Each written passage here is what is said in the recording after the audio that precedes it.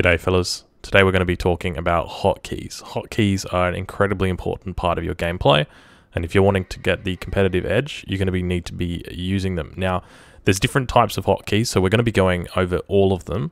Uh, the most common ones that you're going to be using are your uh, unit grouping hotkeys, uh, but what we might do first, we're just going to jump into the hotkey menu.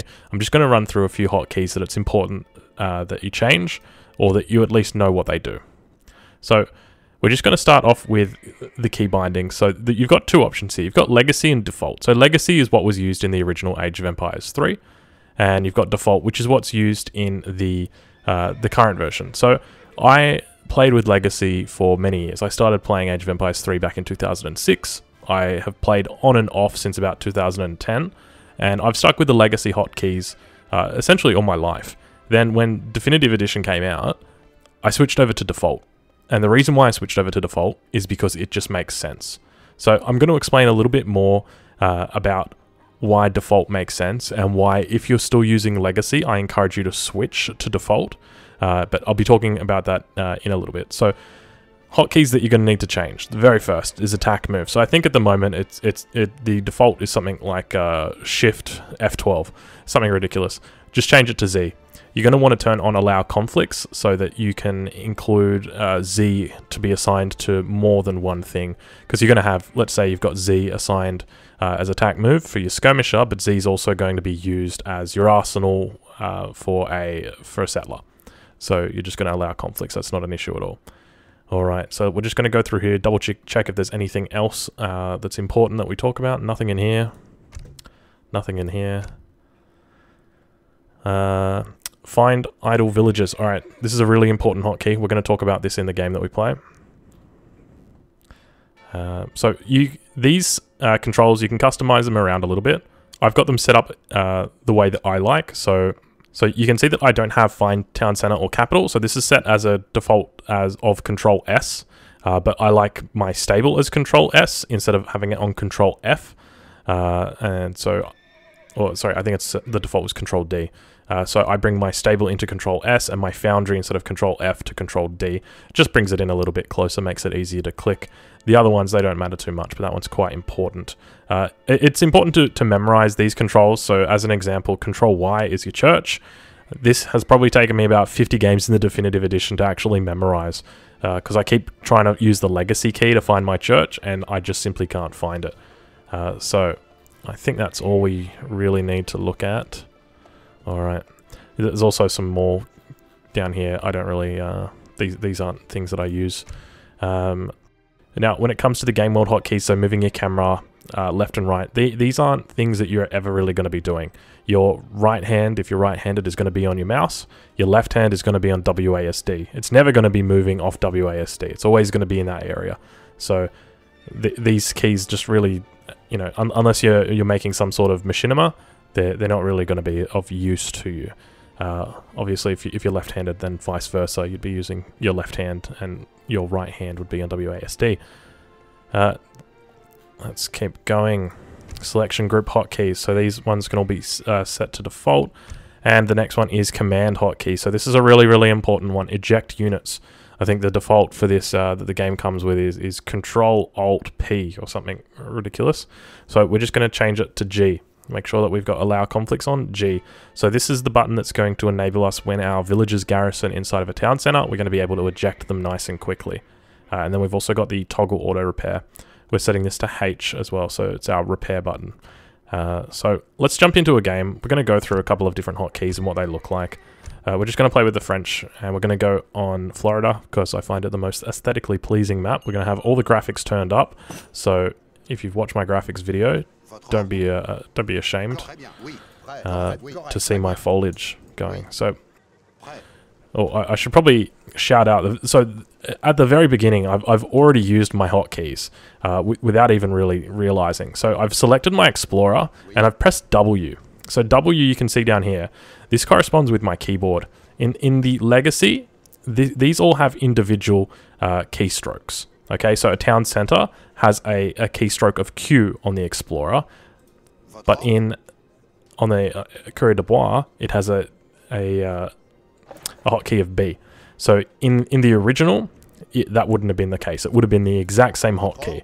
But I know, uh, so the, the, the reason why I advocate to use the uh, the new hotkeys, so I think they're called default, is because I know that whenever I click on my Explorer like that, each one of these actions that he's got corresponds with a key on my on my keyboard.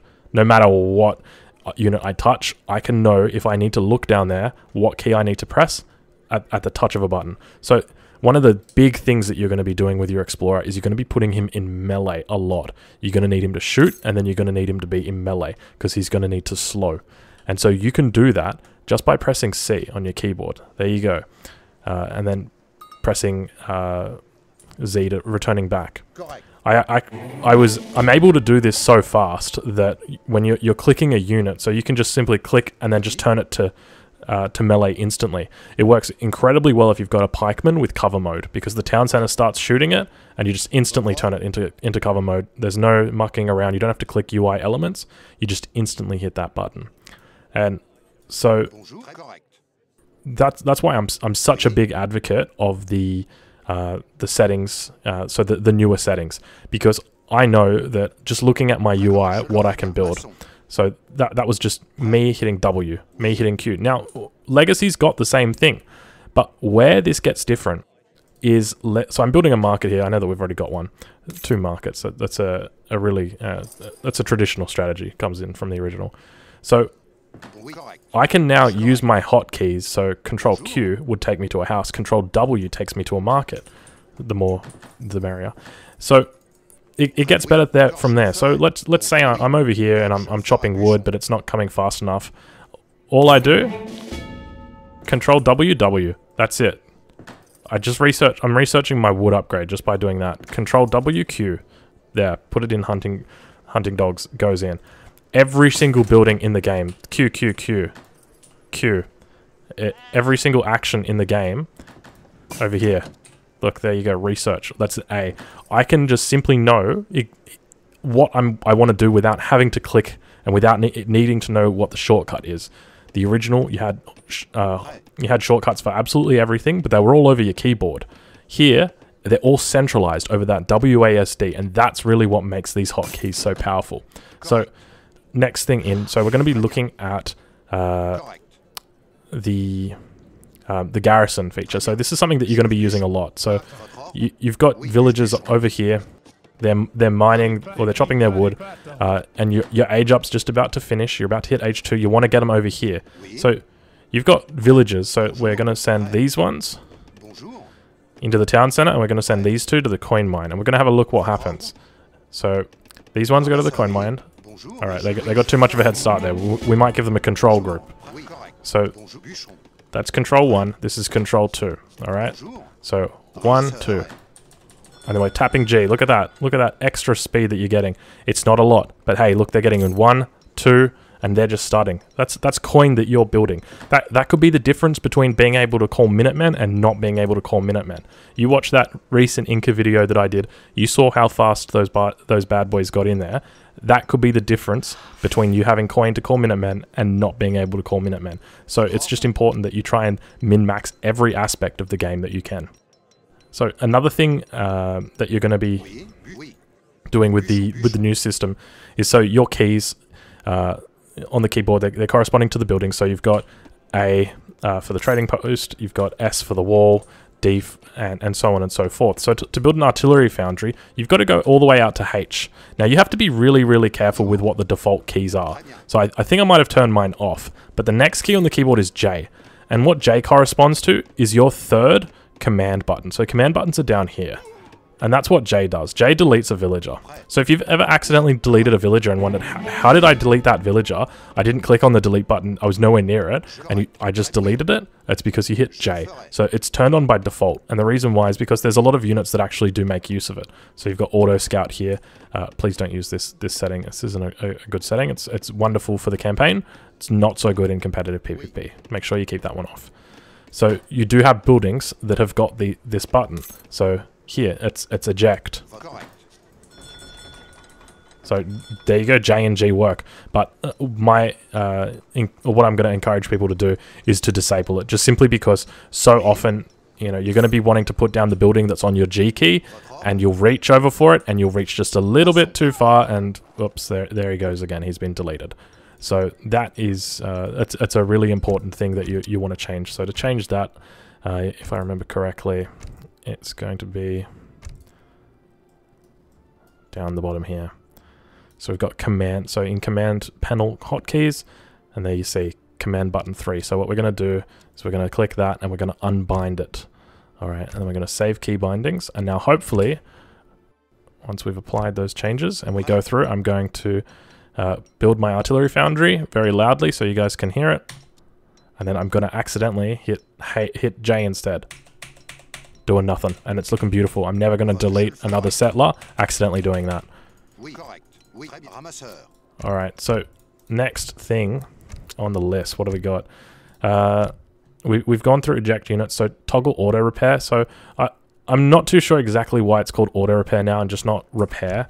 Uh, so essentially when your units or when your building is being sieged, it just enables you to just simply press G and and once uh, and to regain its health once you've got enough wood and once it's um, gone past the, the delay timer on it. So that's an important one. You can just simply click the UI. It's really not a big deal. You're not going to be repairing a lot of buildings. So we can now talk a little bit more broadly about hotkeys uh, and and the way that you're going to be using them and, the best way that you're going to to use them. So the very first thing uh, that you're probably going to be doing with control groups in the game. So control groups are a form of hotkeys is by giving your explorer a control group. So to do this, what you're going to do is select your explorer and you're just going to press control 1. It's going to leave this little flag up here in the top corner and you're going to be able to uh, to come back to it. So there's there's a few different ways that you can come back to it. So let's say we're over here on the town center number 5 and our explorer, we can see him on the map, but we want to go have a look at him right now. We can press the number 1 key twice and it's going to snap us to the explorer. It's going to take us directly over here. We can actually follow him just by continually pressing 1, if you want. I, I, I can't remember the last time I did this, uh, but, uh, you know, it's, it's there as an option. So when you've got your hotkeys, you can just simply select the Explorer just by pressing 1. So you can be over here.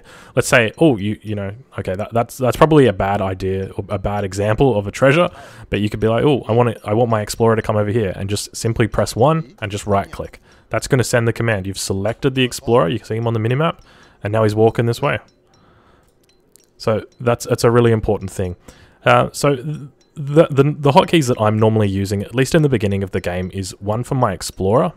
Uh, I'm going to use two for my scouting unit, if I've got a scouting unit. So I, I should have spawned with a French scout, but I don't know where he's gone. Uh, he's probably had a bit of a run. Oh, there he is.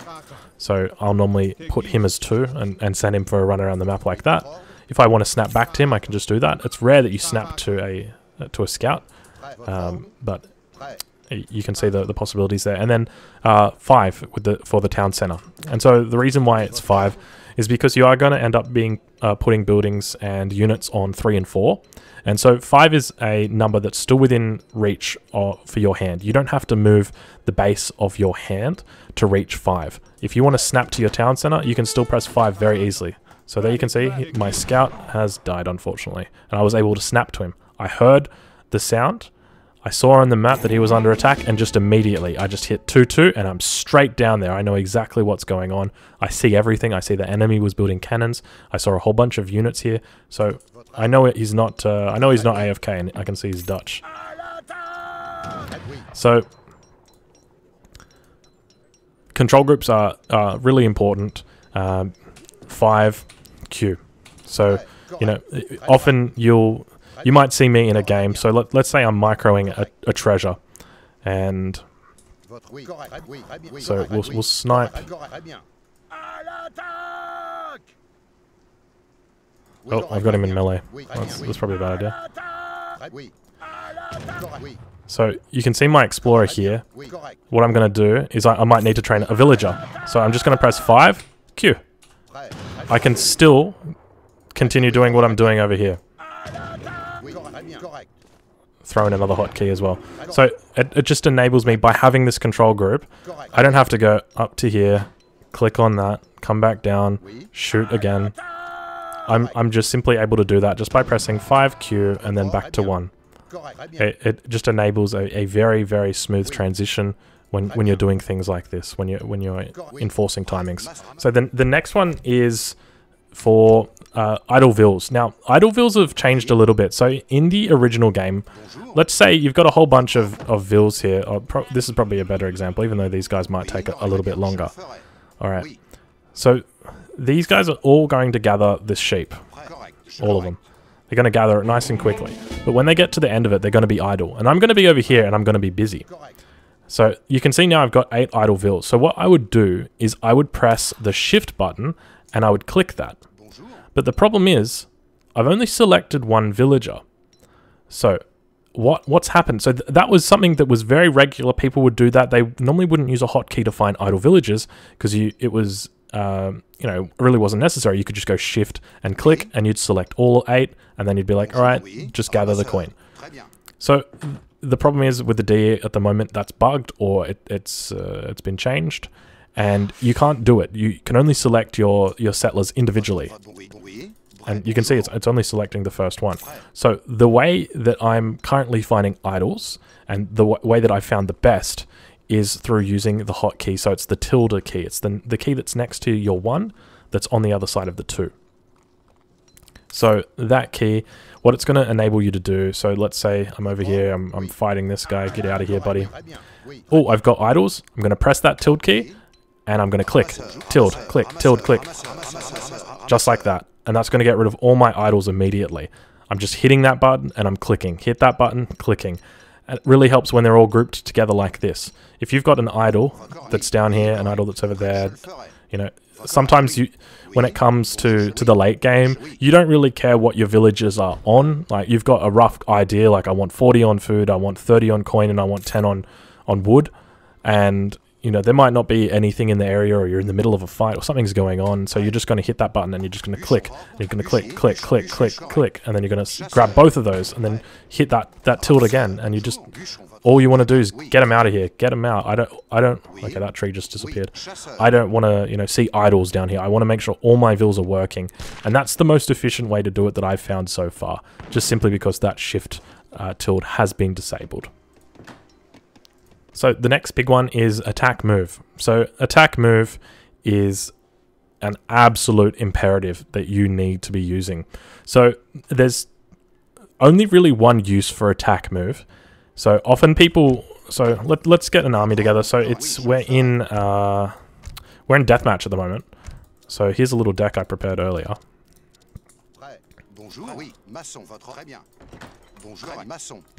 Alright, so what we're going to do is we're going to get a nice little army together.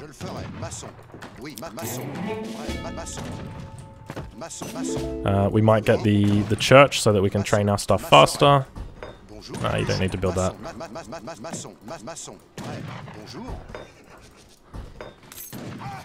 Alright, and so what we're going to do is I'm I'm going to go through uh, attack move and why it's uh, or and, and how to use it. What's going on? Have I got I've got an idle in my TC this whole time. I was trying to work out what was making that sound. Uh, so for these ones, I, I, I, find that I click these ones because it's too far and I can't actually tell what key they're on. It's like, all right, they're over on the side, so I it's a H, I know that, but it's like when when you're opening it up and you're in the moment, often you just find it's easier to click it like that. Uh, and uh, you can see I'm, I'm putting down factories. I don't even have to think about it. I just know I, I drag that box, I hit Q, and I put that factory down. Alright, so let's get some of these bad boys out. We're going to get a whole bunch of skirms out. Uh, and the reason why is because of the way that skirms work. So one of the key things, uh, and I'm going to be going over this more in, in the micro guide, uh, but one of the key things that you want to avoid doing with, with skirmishes or any ranged unit is overkilling. So you don't need to be killing them, the enemy with, with all 50 skirmishes. You're able to do this just by uh, using a, a, small amount. So uh, just as an example, in the early game, if you're playing Dutch, what you will find is that your five skirmishes do enough damage to kill a musketeer. So when you're shooting an enemy musketeer, you don't want to just right-click that musketeer if you've got 20 skirmishes. You want to be attack moving them. That way, you can maximize the damage that they're going to be doing. Alright, how are we doing here? So we got 20 skirms at the moment. We might upgrade them to guard as well, just because the enemy's going to have guard skirms as well soon.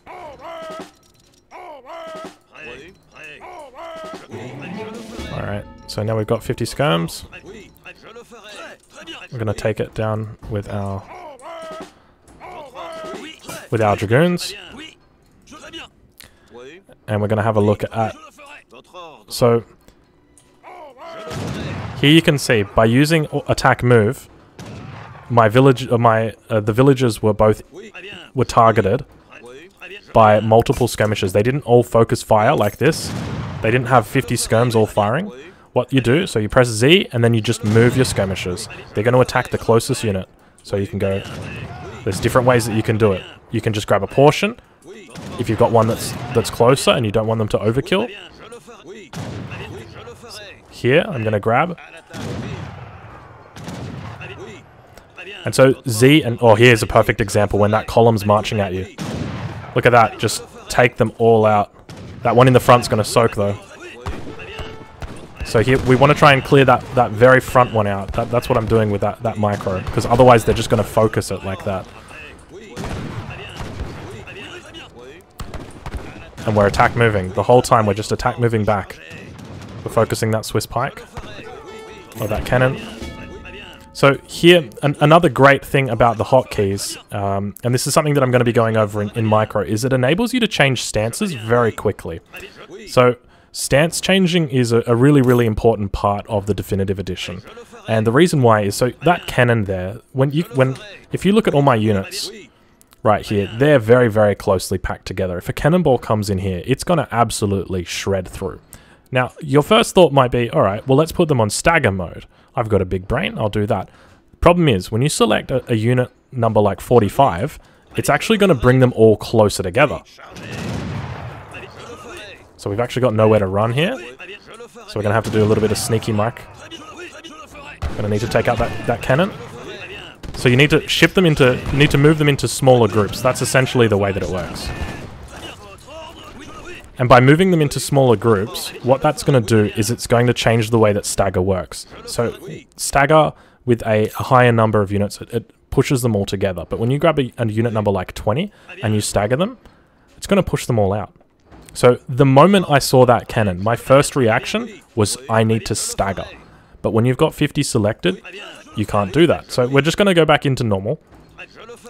And we're going to go through what, what the mindset is when you're up against that and how hotkeys can, can really help you the moment that you see cannons.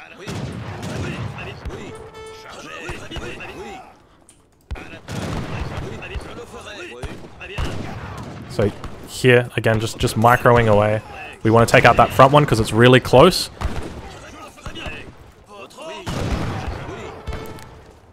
So you want to take out that close one, otherwise they're all going to just simply fire at that, that very front one you want to get that nice even spread in. So you can see right now, if you can, uh, if you can make it so that your skirmishers are firing at different times as well, it's really going to increase the efficiency of, of fighting with your skirmishers as well.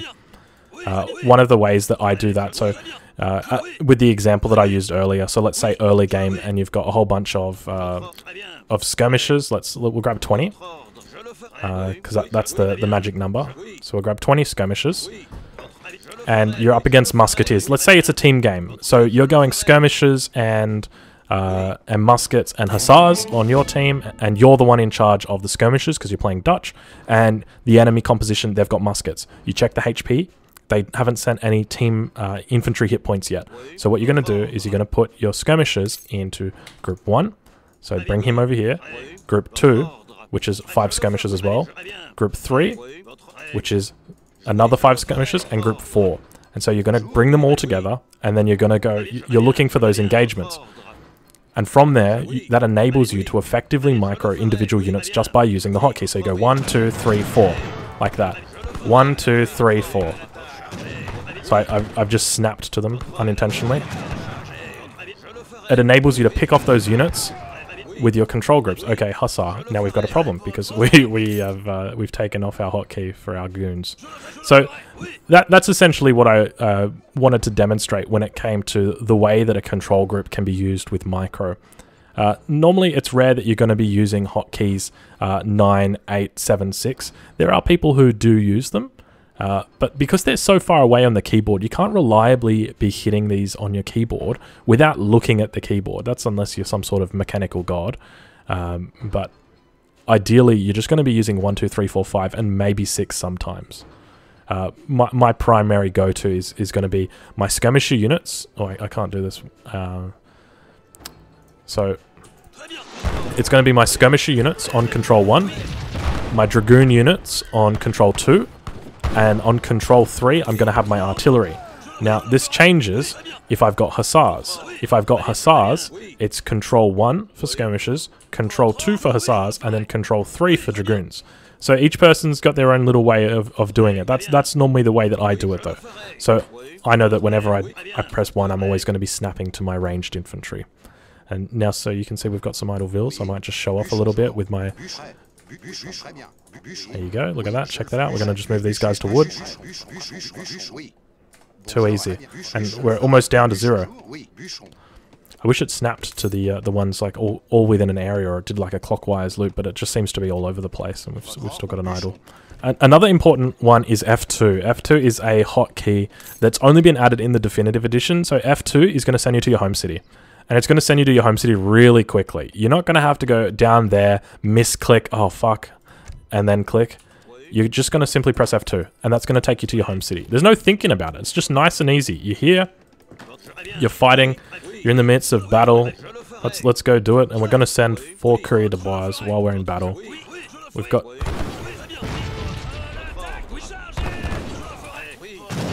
And then we're just going to hit F2, four de bois, and then back out. And we're still able to micro. We've got that shipment in. It's important we get those four de bois in. Very important.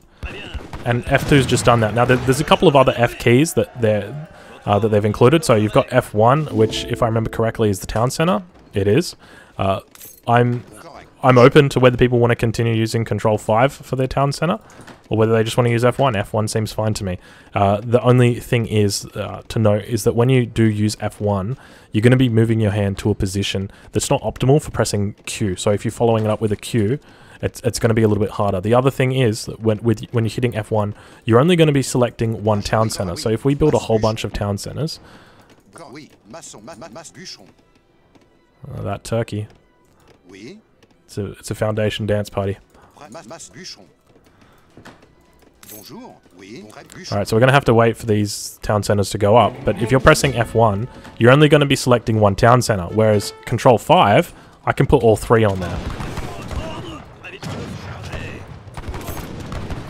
Uh, and so let's have a look. Those town centers going up. So we're going to stop production of Courier de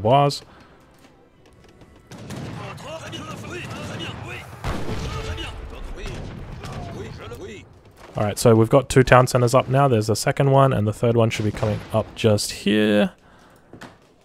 They're, ta they're taking their time. There's only seven of them, that's why.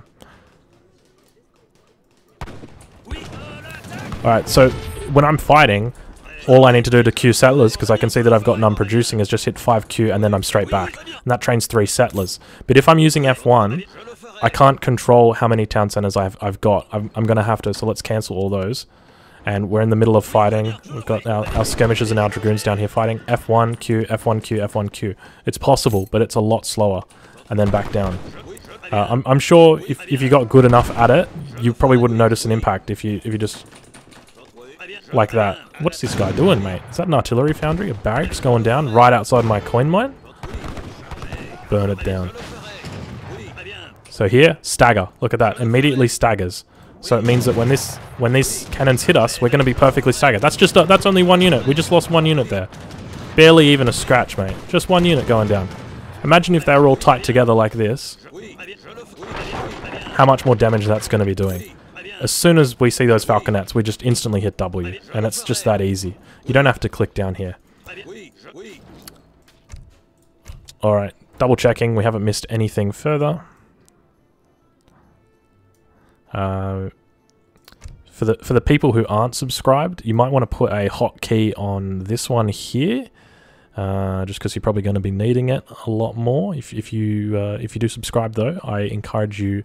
Probably don't want to probably don't want to use a hotkey on that. You're not going to be needing that one a lot. Uh, all right. Other than that, guys, I think we've covered absolutely everything. Uh, if you do think I've missed something, please leave a comment down in uh, underneath the video and I'll make sure that I get to it. But you can really see with the default key bindings, they're just incredibly versatile. You can just simply snap to any building and you can you know if you know where it's positioned in your head, you know the button that you've got to press to research it. Like right now, if I want to research veteran pikemen, all I have to do is press Control A and then hit A. That's it. Like I'm gonna just do it right now. Control A is my barracks, and A is the second row. It's the first thing. Control A A. That's a crossbow. That's that's awfully awkward. Uh, but you understand exactly where I'm coming from. So thank you very much for watching the video. I hope that you've been able to take something away from this, and thank you very much for watching.